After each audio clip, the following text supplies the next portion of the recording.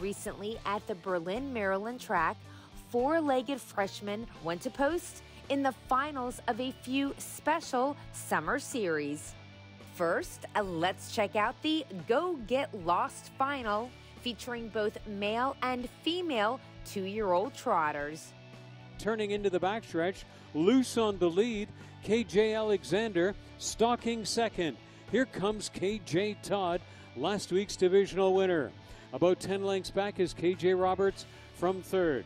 Goo Goo Eyes is picking up fourth, overtaking Messy Missy, who is back in fifth, and then Young Buck, Whitesville Pride, and Miss Narissa out of it on the final turn.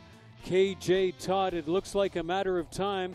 Russell Foster has taught him well to be the stone closer in this field. Thereafter, three quarters in 130 flat.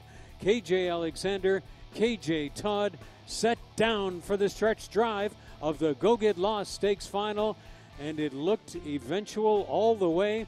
Perfect tactics by Russell Foster, KJ Todd to win by a length. KJ Todd, the 4 to 5 favorite in the race, wins the Go Get Lost final in 201 and 4 with Russell Foster driving. The young son of Trixton, bred and owned by Pam Wagner, picked up his second victory in three lifetime starts for trainer John Wagner. Now, let's bring in the filly division of the Future Hope final for two year old female pacers. The opening half was a sharp enough minute flat. Lots of pace to chase here. She is risen over to the backstretch final time. Naked Truth been getting the best trip of all since just past the quarter. Val's Girl took in a little ways. Now she's up and moving. And on the attack again goes Val's Girl. Countess Mara, she spotted second over. No more pace on the inside, reaching for heaven. And the last pair are Jesse's Rockin' and Lloyd's Loves yet to be heard from. Val's Girl sailed right on by, and they open a three length lead at head stretch.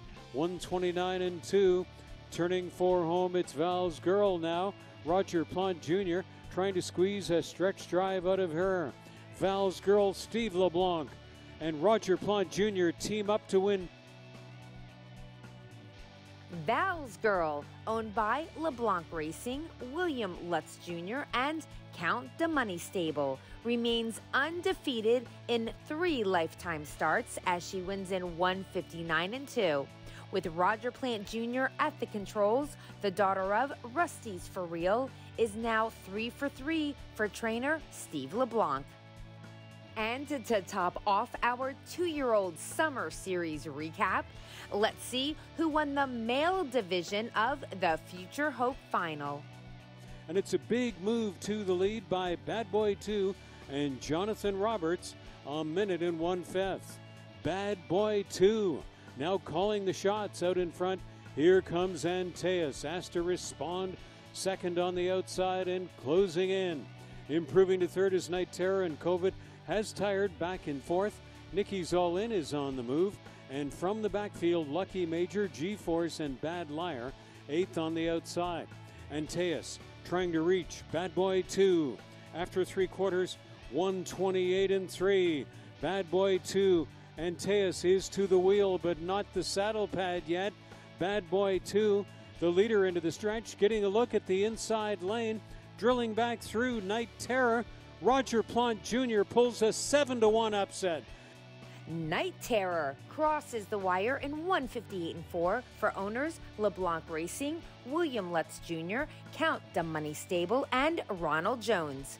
And driver Roger Plante Jr. teamed up once again with trainer Steve LeBlanc on this evening, grabbing both the fillies and the Colts division of the Future Hope Final.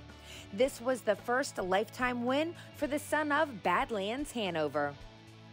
Congratulations to the winners of these special summer series for two year olds at Ocean Downs.